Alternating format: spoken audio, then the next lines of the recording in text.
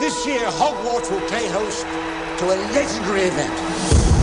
The Triwizard Tournament.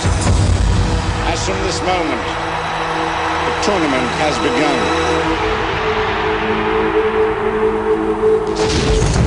If chosen, the student must survive three dangerous tasks. Only one will go down in history.